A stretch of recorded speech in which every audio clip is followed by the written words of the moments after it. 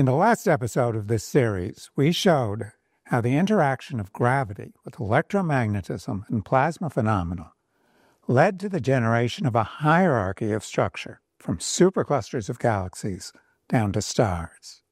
This process ends with the generation of stars. The formation of stars produces a new stage in cosmic evolution because stars are dense enough to produce large amounts of fusion energy.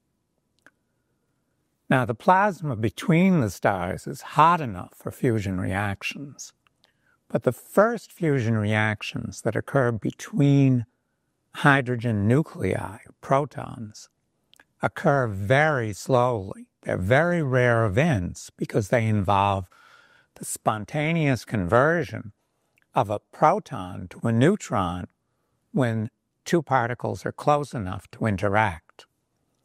Now, in the depths of space, these events are so rare as to be negligible.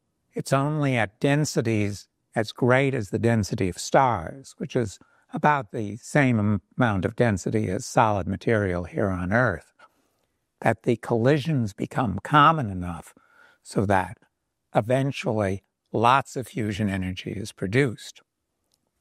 This is still a slow process, but over billions of years, stars produce thousands of times more fusion energy than the gravitational energy that went into the formation of the stars. We'll discuss further this stage of cosmic evolution in the next episode of this series. There's abundant observational evidence that this description of the formation of structure is correct, unlike the Big Bang story. First of all, as we said in the first episode of this series, we see these filaments at all scales in the universe. We see them in our laboratory devices at the scale of centimeters. We see them on the scale of light years in the clouds that form uh, stars like our own sun.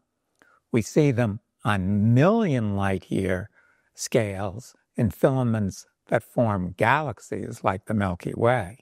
And we even see them on scales of hundreds of millions of light years, where clusters of galaxies are strung like beads on a string along these huge filaments. Second of all, the theory made quantitative predictions that were confirmed by subsequent observations, which, as we've emphasized, is the key t- test of a validity of a scientific theory. First of all, papers that I wrote in 1986 showed that the density of the universe, because of its fractal structure, depends on the scale at which this density is measured. So, as the scale you measure it gets larger, the density gets smaller because there's structure at all scales. Quantitatively, the density gets smaller as the square of the distance on which the density is measured. Mathematicians like to call this a fractal of dimension 2. Subsequent observations discovered that that's exactly what we observe in the universe. Second, observations confirmed the prediction that objects actually exist, structures actually exist, up to the scale of four or five billion light years. This completely contradicts the predictions of the Big Bang, which predicted that no such structures could form because there wasn't enough time in the 13 billion years since the Big Bang. Third, the theory predicted that structures at all scales would have rotational velocities that didn't exceed about 1,000 kilometers per second. Again, this prediction has been abundantly confirmed by observation. Combined with the other predictions, this also predicted a hierarchical structure in which the rungs of the ladder were closer at the top than at the bottom. So, for example, a galaxy is separated from another galaxy typically by approximately 100 times its radius. But stars are separated from other stars by 10 million times their radius. Now, this process of filament formation that we see in the universe is also critical to the production of fusion energy here on Earth. In all plasmas that are hot enough to produce fusion energy, these filaments spontaneously form. Now, in most fusion devices, the filaments are treated as undesirable because they help the plasma to wriggle out from the confinement of the external magnetic fields. But we at LPP Fusion are using a different approach, a device we call uh, that's called the dense plasma focus, where we actually imitate nature and use these filaments to concentrate the plasma to the point where we get rapid fusion energy production. Now, since we don't have gravitational fields being significant at laboratory scales, we actually use the shape of the electrodes to concentrate the fields of the filaments.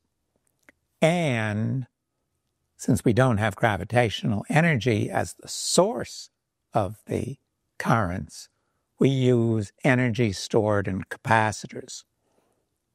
In our experimental device, the electricity that charges these capacitors comes from the grid.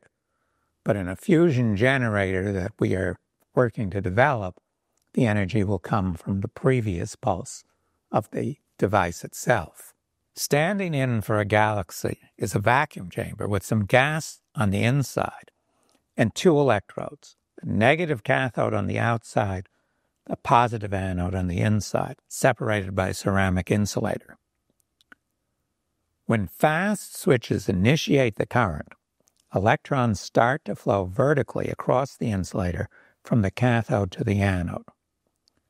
The same pinch forces that operate in the cosmos pull the current together into filaments, which we and many others have observed with this device. The interaction of the electric currents with the magnetic field they produce accelerates the filaments outwards to the cathode vanes and down the anode to its hollow tip.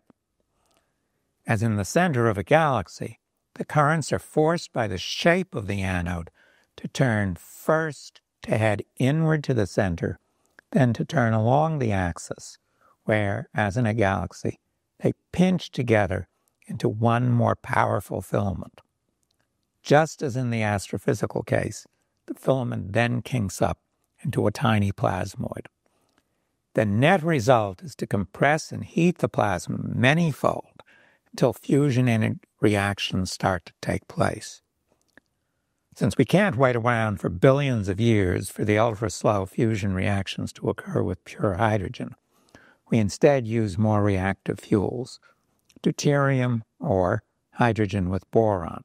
With these fuels, reactions take billions of a second instead of billions of years because they're driven by the strong nuclear forces between nucleons which hold the nuclei together, not the weak nuclear force which turns protons into neutrons. So here we're improving considerably on nature. Finally, as the plasmoid decays, it shoots out the beam of the ions in one direction and electrons in the other, just like the vastly larger beams produced by Herbig Haro objects and quasars. In our DPF device, the ion beam will carry away most of the energy produced by the fusion reactions, enabling us to change that energy back to energy in electrical circuit at high efficiency. The similarity of the astrophysical and DPF processes is not coincidental. Those like Dr. Winston Bar- Bostick and Dr. Vittorio Nardi, who pioneered the development of the DPF, were deeply involved in the effort to mimic the creative processes of the cosmos in the laboratory. Alfvén had pioneered the idea that only by understanding the cosmic processes could fusion and other energetic processes on Earth be understood. And my own contributions to the theory of the DPF were based on using it as a model for quasars. In the next episode of this series, we'll discuss the phase of cosmic evolution that's driven by thermonuclear reactions in stars.